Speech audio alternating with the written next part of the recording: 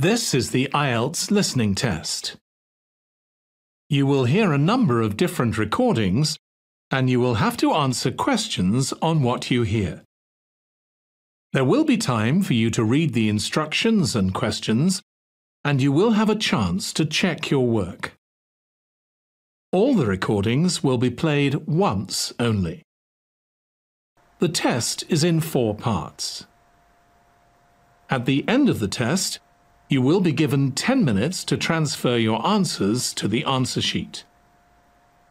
Now turn to part 1.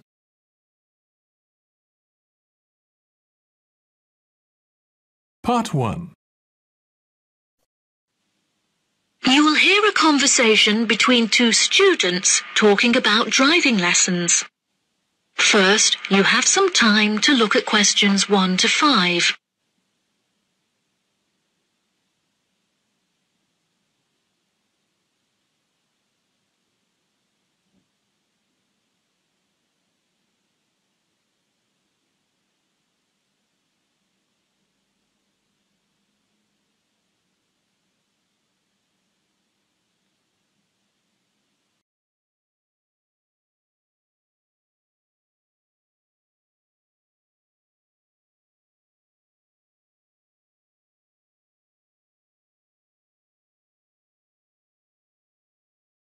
Now we shall begin.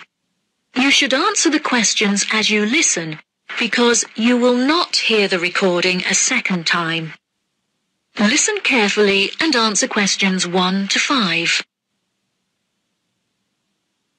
Hi, Zach. I heard you passed your driving test. Congratulations. Thanks, Olivia. I passed just last week. It feels great to be independent and driving on my own. I really want to take driving lessons, but I haven't been able to find a driving school that will give lessons during the weekends, so that I don't have to miss any classes at college. The driving school that I used was brilliant and really flexible with their teaching hours. It's really close to the school. The address is 67 Kings Road. That's 67 King apostrophe S Road. Oh, that's perfect. I don't like the idea of driving around busy streets. Did your teacher make you drive in urban areas, or did he mainly teach you on roads in the countryside? My teacher said that I had to learn on both in order to become a good and experienced driver. We would start in the city centre and then drive north above the city. He sounds like a good teacher. Would you mind giving me his contact details so I can ask him for lessons? Of course. My mother's friend Daniel Smith referred me to him. His name is Alan Sutcliffe. Could you spell the surname, please? S-U-T-C-L-I-F-F-E.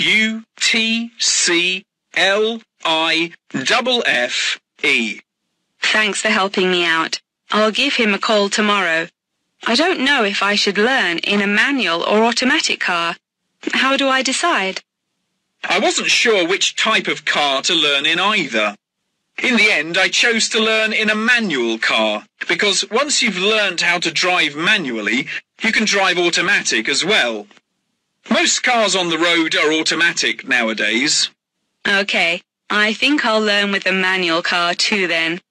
Hopefully the teacher will be able to give me lessons in the evenings after school. It would be much better if you take the lessons during the day. It will be far easier for you to learn when there is enough daylight to clearly see everything going on around you.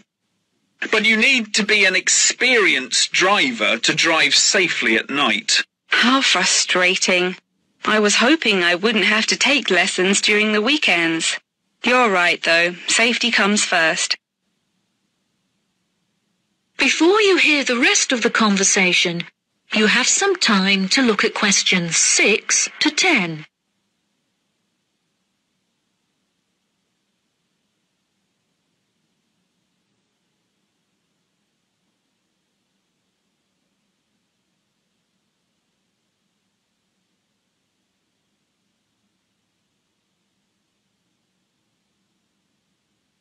Now listen and answer questions 6 to 10. Speaking of safety, you should wait until summer to start learning. It's really difficult and dangerous to drive in the wind and rain as a learner, so you should definitely wait until the weather is sunny and dry. Okay, that's perfect actually. It will give me some time to save up some money to pay for the lessons. Tell me about it. I had to work for months before I had enough money saved up. It was worth all the work when I finally got my driving license, though. The whole process is so expensive. How much did it cost you in the end? Well, each half-hour lesson cost $30, and then the final test cost $50. In total, it cost me about $300. Gosh, it's pretty expensive. How did you find the test? Was it really difficult? No, it wasn't too bad, and the man was really calm and friendly. I knew that I would have to perform two parking manoeuvres during the test, so I practiced them a lot beforehand, and that really helped. The test used to last 40 minutes, but it changed a bit. For the first 20 minutes of the test, he gave me directions, and I had to just drive around, and then the last 10 minutes was for demonstrating the manoeuvres. So the test is 30 minutes in total. Okay, great. I'll remember that. Do you have any more advice? It's really good to practice driving a lot outside of driving lessons as well. Whenever my parents were running errands on the weekends, I would offer to drive them. My driving teacher also told me to buy a notebook to write down everything that I've learnt in it, like a diary. that sounds boring, but I'll do it if it helps. I found it really useful. Before my test, I read through everything I had written down, and it reminded me of a lot of things that I had forgotten about. It's really helpful for the theory test as well, because there's so much information to remember for it. That's great, Zach. Thanks for your help. No problem. See you at school. Bye.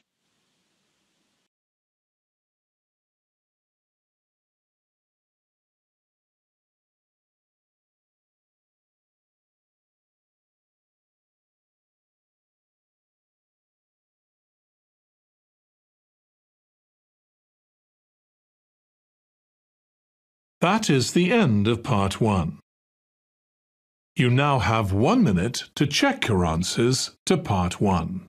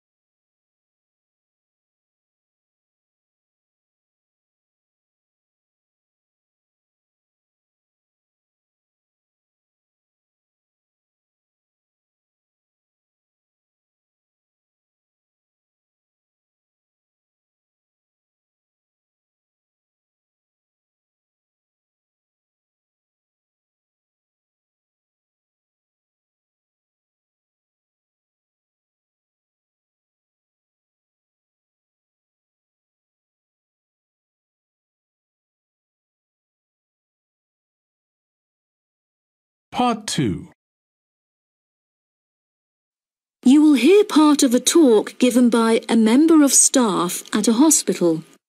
First, you have some time to look at questions 11 to 15.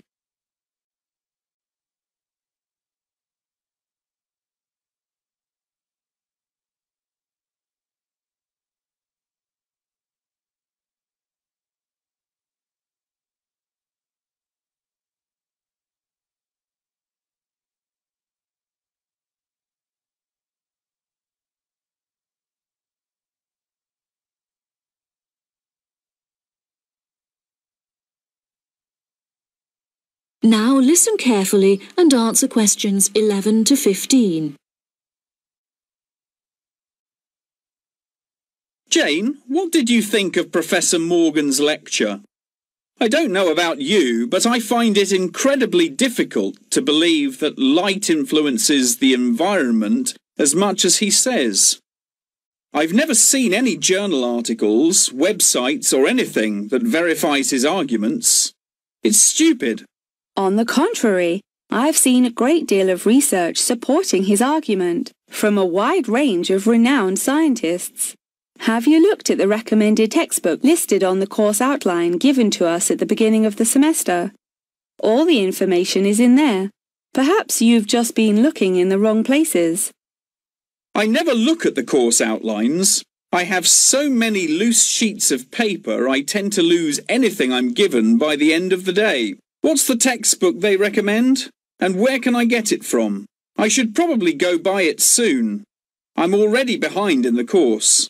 Yeah, you definitely should buy it. And our grades are more important this year. It's called The Influence of Light on the Environment. You should be able to find it in the bookshop on campus. If not, they'll order it within two weeks. In the meantime, you should read up on Ken Simpson's work. He argues that in order to protect natural habitats, governments should endeavour to turn off lights in cities at night. Well, that's controversial. I doubt any government would be willing to do that any time soon. I imagine roads would become quite dangerous without street lighting. For this issue, Dave Kepler suggests they could just replace the existing lights with more environmentally friendly bulbs. They could even install solar-powered lights.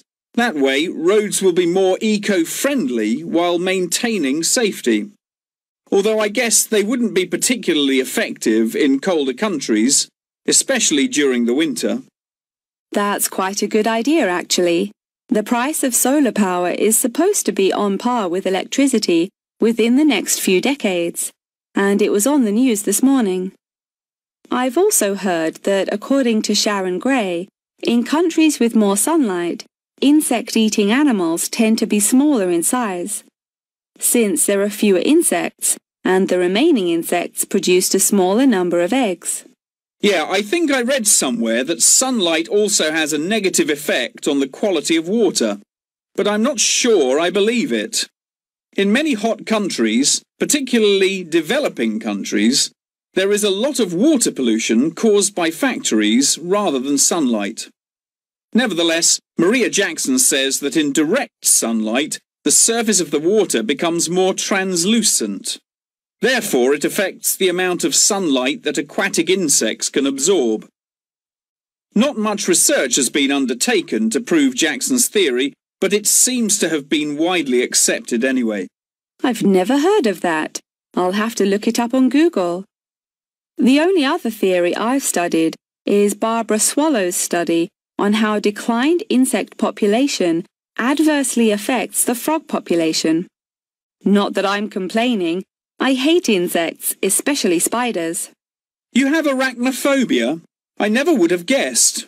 Didn't your brother have a pet black widow spider? Yes, he did, and I hated it. It escaped from its cage once, and we never found it. I had nightmares for months. Before you hear the rest of the talk, you have some time to look at questions 16 to 20.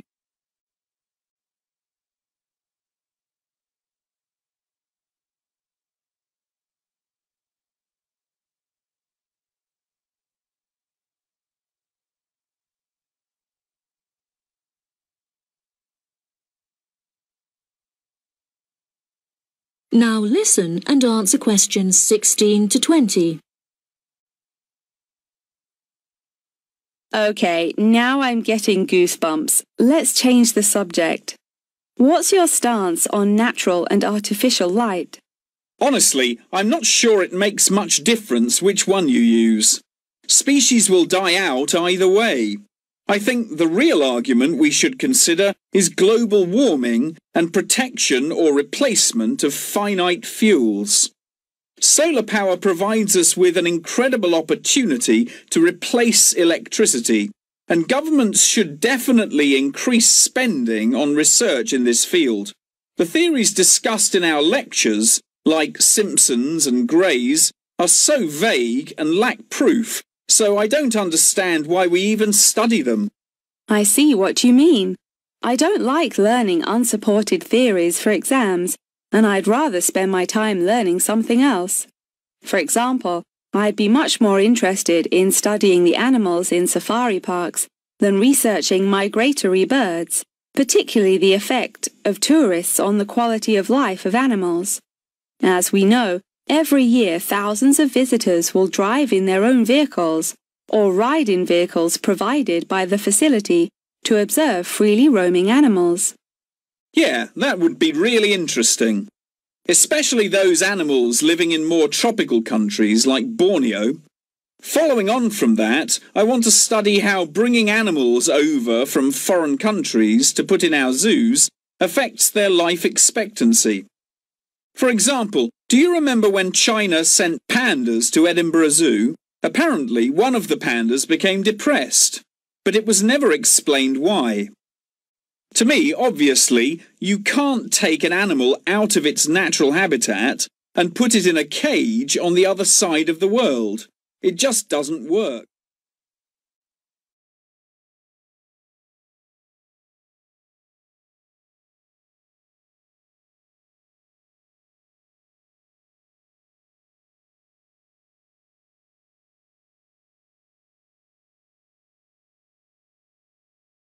That is the end of part two. You now have 30 seconds to check your answers to part two.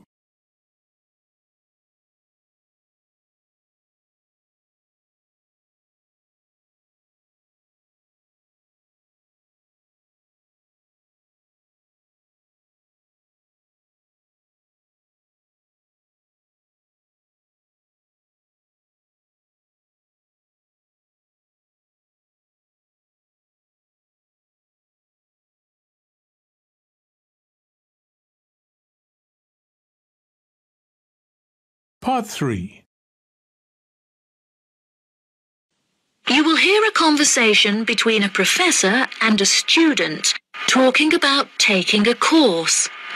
First, you have some time to look at questions 21 to 25.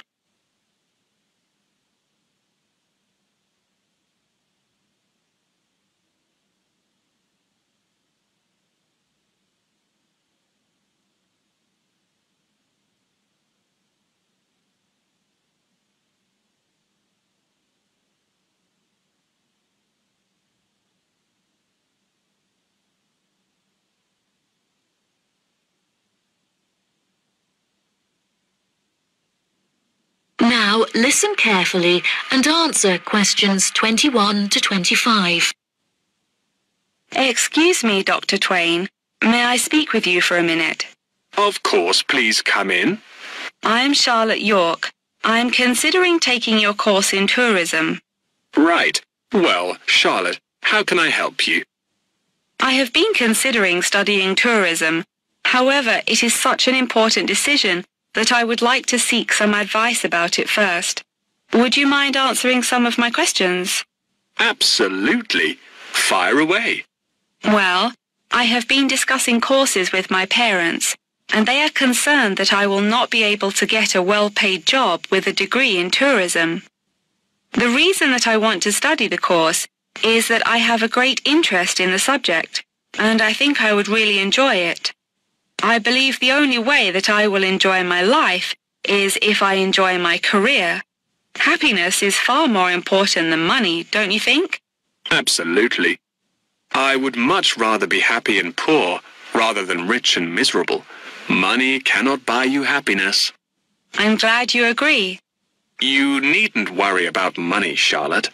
A large part of the tourism course is dedicated to teaching students how to manage finances a skill that you can apply to your everyday life as well. I would also recommend that you take a sideline course in time management, as this can be incredibly useful in efficiently planning your workload. Efficiency is the key to success. I'll remember that. Now, I have found that some students have natural talents that really help them to succeed in the course. Communication skills, for example, can be very beneficial. Do you have any strengths? Maths was always my favorite subject at school, so I really enjoy solving mathematical problems. However, I find statistics quite difficult. I have always been very capable and self-sufficient. I have a lot of confidence in my abilities and will take the initiative in situations without needing to depend on anyone else for their help. That's a really great quality to have and will be particularly useful if you choose to study tourism. That's great. I would recommend that you spend some of your time researching the course. A lot of people who are uneducated on the subject claim that tourism is a shrinking industry and that it will become irrelevant in the future. If you study the published research, however, you will see that the truth is quite the opposite. The industry has, in fact, grown significantly as people have developed an ever-increasing interest in culture and travel. Have you compared the university course with a polytechnic? Yes, I have. I was interested in studying the course in modules. However, the university doesn't offer that option. I don't have enough funds to be able to attend an expensive university, so I was relieved to see that the course is quite affordable. I also considered attending a summer school instead of university to save money, and so that I could work during the rest of the year. But I really wanted the university experience. I think that university would suit you well. Before you hear the rest of the conversation, you have some time to look at questions 26 to 30.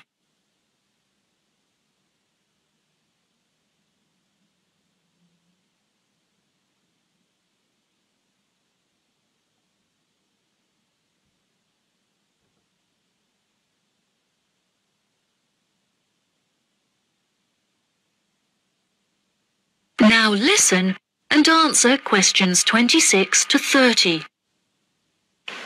Now, what about the courses? Are you interested in any of the other subjects on offer? I have looked at a few. I was interested in travel and business as it sounds similar to tourism. That is really worth learning. However, be aware that it is difficult and will demand a lot of your time. Okay, that's good to know. You might find that Japanese is an interesting course and it will teach you valuable skills in speaking the language. Personally, it's not bad and could be of some help, but not that much. Okay, Japanese. Got that. What about medical care? Well, if you have time, the course will teach you a lot about curing diseases and illnesses or dealing with injuries outside, although it's not essential.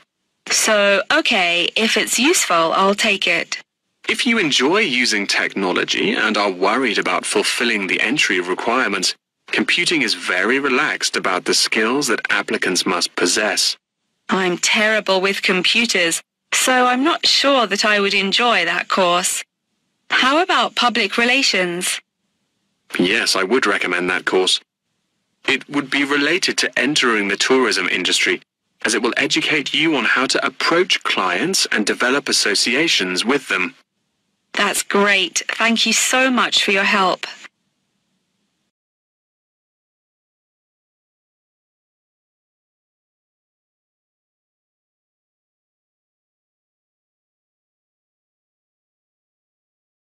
That is the end of part 3. You now have 30 seconds to check your answers to part 3.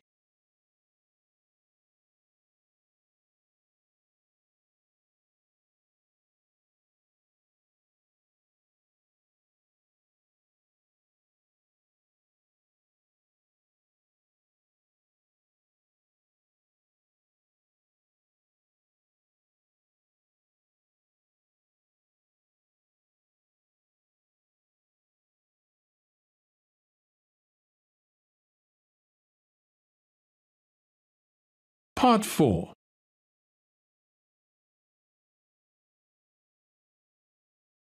You will hear the beginning of a lecture about the Roberts Company. First, you have some time to look at questions 31 to 40.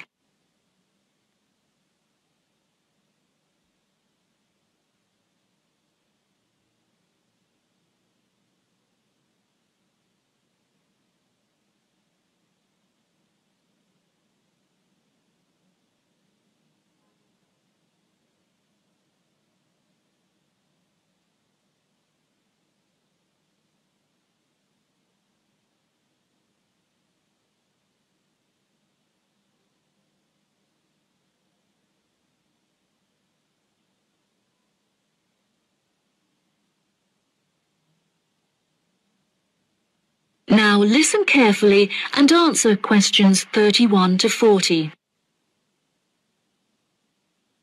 Good morning. In the last few lectures, I've been talking about the history of technology in the modern world.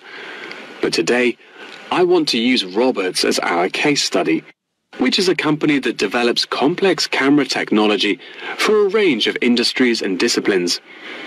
Since the camera was invented in 1816, it has changed and improved dramatically, with cameras now in existence that can fit on the head of a pin. The company has been founded on a series of principles by which the company operates in its day-to-day business. The most important of these being to enhance the present development of camera technology. Roberts has a philosophy pioneering innovation, having been responsible for the invention of numerous technologies since it was founded by Dwayne Roberts in 1957.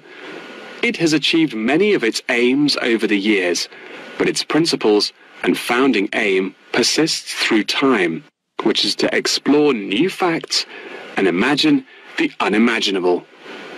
The cameras produced by Roberts have a multitude of potential applications that are currently being explored. One of these is an anti-gravity camera that they aim to attach to a space satellite from where it will record live, high-definition video and provide fascinating new views of planet Earth. It could also prove useful in exploring other planets by providing researchers with never-before-seen images of the universe. Roberts are also experimenting with attaching the cameras to small drones that will fly through the rainforest in search of plants that could be used to develop future medicine. The camera also has the potential to be used on the roads. As it is 20% cheaper than the speed cameras that are currently in operation, this means that more of them could be distributed across the road network, where they can control traffic by making sure that all cars abide by the speed regulations.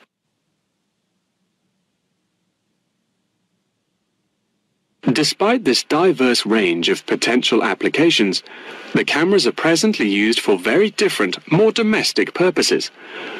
Roberts cameras are presently used as nanny cams, which allow parents to watch their nannies to ensure that they are responsibly attending to the children that they have been employed to care for. These cameras give parents peace of mind and more control over their child's welfare whilst they are at work or otherwise occupied.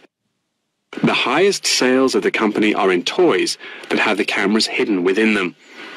This clever idea means that the cameras are camouflaged from view and do not look out of place in the child's nursery. The toys are also very robust, so children can play with them without damaging them in the process. The toys are designed to look like animals and come in a range of shapes, sizes and colors, as well as different animal species such as monkeys and bears. These toys are incredibly popular and can be bought in any toy store for only $20 always eager to be constantly improving their products, Roberts are now working on a product that will change the way people see photography. This new contraption is a mini camera that is built into eyewear such as glasses and sunglasses, where it can capture the world as you see it.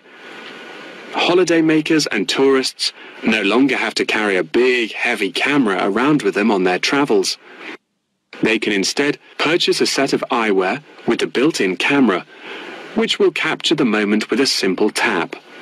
Roberts are also developing a model of this tiny camera for use during medical procedures and operations. The camera will be used during non-invasive keyhole surgeries to enable the surgeon to see what they are doing inside the body without having to make a large incision. This innovative application for the camera could make surgeries a lot faster, and the saved time and energy will also make it far more efficient. As the patient will no longer have to undergo a large incision for their surgery, it also means that their recovery will be much faster with a greatly reduced chance of post-op infection. If any of you have an interest in working in this field of technological invention, Roberts is a very diverse and fast-growing company that would be a fantastic internship opportunity. Every year they organise a series of competitions where entrants stand the chance of winning a place in their internship programme. So I would suggest that all of you enter. That wraps up the lecture for today. Please remember that attendance is mandatory.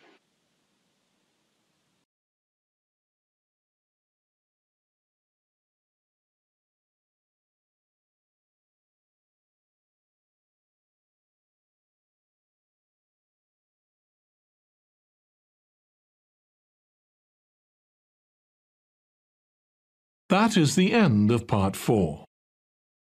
You now have one minute to check your answers to part four. That is the end of the listening test. In the IELTS test, you would now have 10 minutes to transfer your answers to the answer sheet.